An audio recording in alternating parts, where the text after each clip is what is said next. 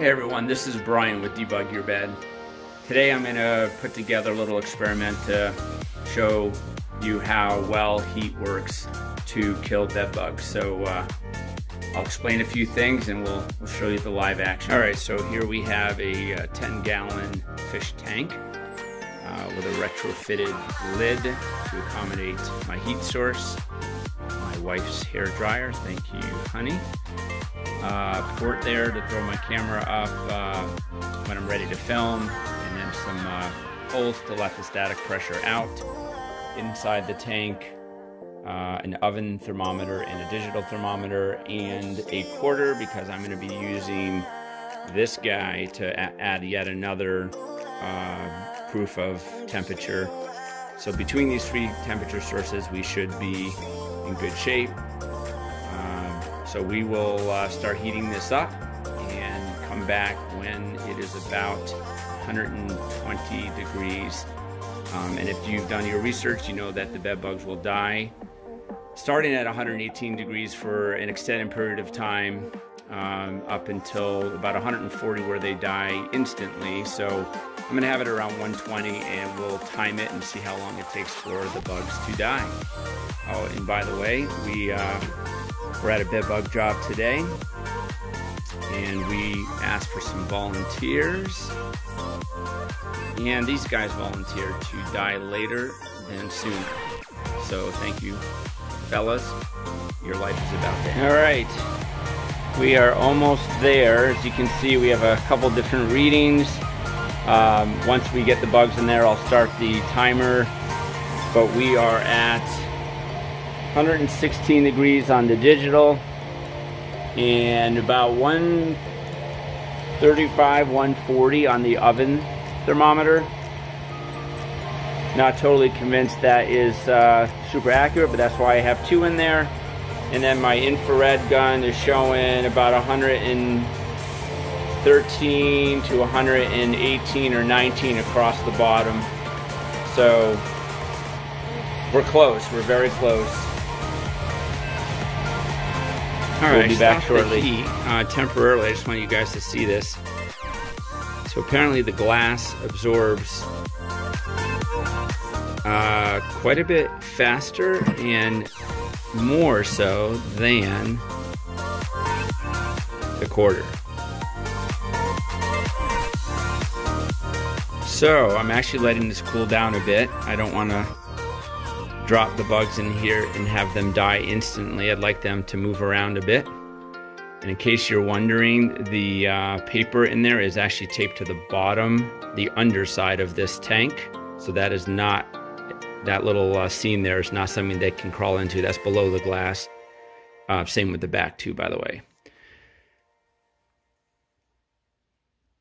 So it makes sense that this side is hotter because this is where the dryer was. And when we do heat treatments, we're usually between 120 and 135, depending on the circumstances. So this is the temperature that uh, we like to see when we do our heat treatments. Again, I'm going to let this cool down for a minute.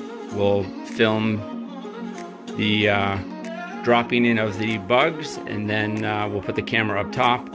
Probably throw the uh, heat back on, and we'll film from there. All right, we're about to make the drop. Uh, as I pointed these out earlier, these guys uh, we picked up at a bed job, bed bug job yesterday. When we first walked in, we found a bunch. And again, these guys volunteered. They've been uh, in this little Tupperware thing, inside a Ziploc bag, in my car, below freezing temperatures for, oh, almost 48 hours. So here's the drop. So you can see them running around. There's one, two. There's one in the lid here. There it is. So I have four live ones. And I am going to leave this guy in here just in case there's some babies that I missed. And I will come back the bugs like the corners, so hopefully we'll be able to see them. They're, they're at the uh, edges right now, except for this guy in the middle. again, he he's upside down actually.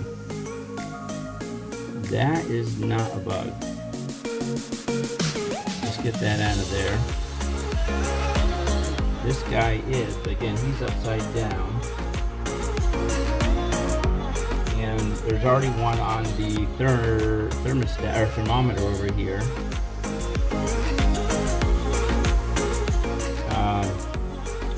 Need to be able to flip this guy, so I will try to do that, and we'll be back with a view from the top, and we'll fire the heat back up. Okay, so we're back.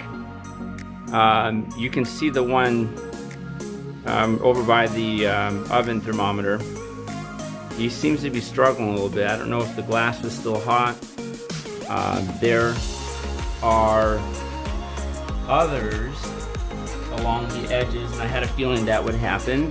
I will use my little uh, red dot. There is one right there. I don't know if we'll be able to see it or not. And there are a couple in the far corner, front corner there.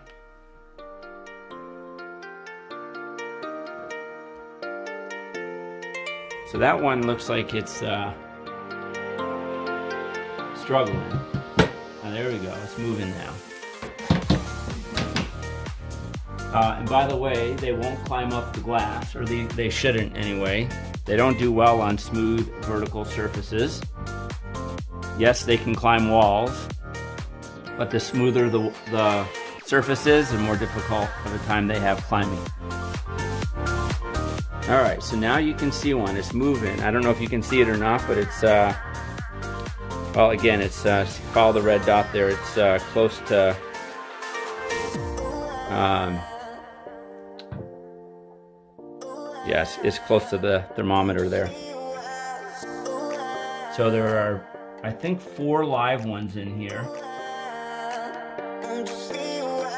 And I uh, was hoping they'd be in the middle so you can see them. So let me see if I can encourage them to the middle and we'll come back. All right, before we go back to the heat, I can't get these guys to move. I think I'm uh, I'm at risk of killing them. So you see in the corner there's two, and along the edge there's one, and there's one. So it looks like we have four alive. So you can see those two guys moving. These guys in the corner are pretty content, um, but they're alive. Maybe when I throw the uh, dryer on, maybe they'll move because of the air movement, but uh, I just want to let you guys see that they're here. They're hard to see. I mean, that guy's out in the open now, so maybe he'll stay there. All right, well, I'm gonna fire up the heat on low. That little guy out in the middle there may um, blow over to the end because of the uh, air, but we'll, we'll find out. It's right on the quarter. And I don't know how loud that is. I apologize if it's super loud.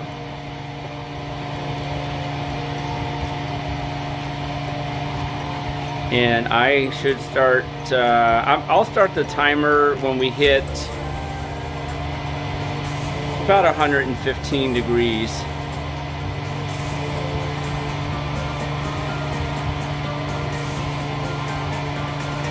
All right, so you can see we still we got one on the quarter, we got one on the front, about right where my red dot is, and there's a couple in the corner. I don't know if that'll be visible on our film or not. Um, the oven thermometer is right underneath the uh, uh, hair dryer, so that should start to rise pretty quickly.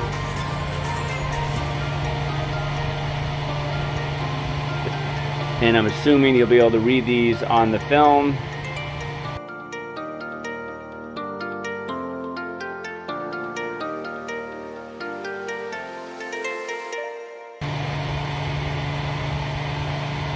Guy left the quarter. He seems to be uh, struggling a bit.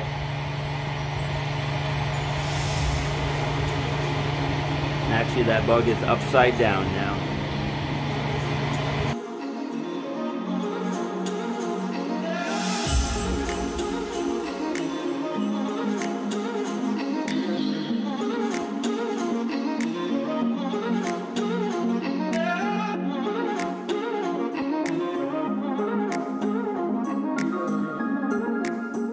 So by the way, this is a good example of why when we do a heat treatment, we let our heaters run for about 18 hours after we've accomplished or achieved 120 degrees Fahrenheit. Um, and the reason this is a good example is because by the thermometer to your right there, it shows nice and hot, but over in the middle where the digital thermometer we're about 108 and all the way over to the left where the bugs are. Again I'm only reading the glass not the air but the glass is still around 92 degrees. So picture this as your bedroom or living room. For the heat to penetrate every corner every nook every cranny of your room you need to let the heat run for a long time obviously you'll have dressers full of clothing, uh, bedspread and, and linens on your bed. Um, all of those things can remain in the room and they will be treated with the rest of the room. And you add a closet into the mix and it's even more important to make sure you're heating for an extended period of time. Uh, and not only that, but we add extra fans into the treatment area to circulate the air into closets and bathrooms so that they are receiving a uh, proper amount of heat.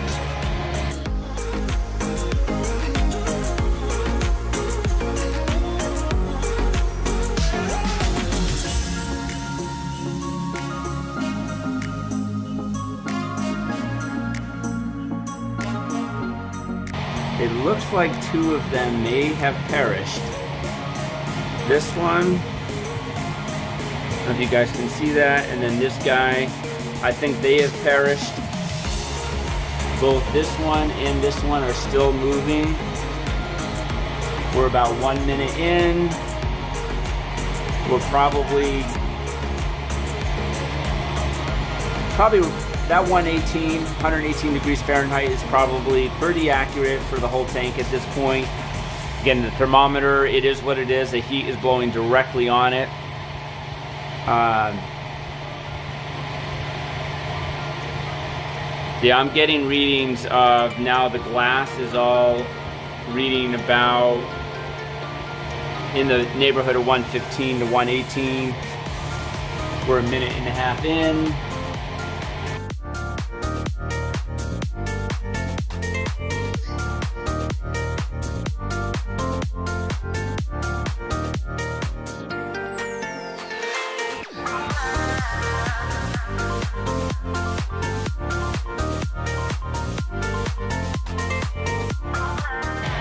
Believe he just perished. So I am going to uh, come back in a minute. We'll, we'll make sure they're, uh, they've perished. I'm going to just uh, shut the heat off and open up the lid and we'll take a closer look. All right, so the lid is off and they haven't moved. I haven't moved them. So our glass Our glass is actually interestingly cool. Of course, all the hot air is pretty much out of the tank. But these guys, I believe,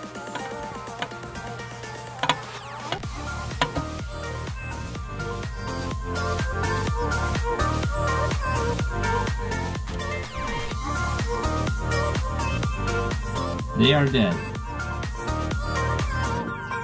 So there you have it.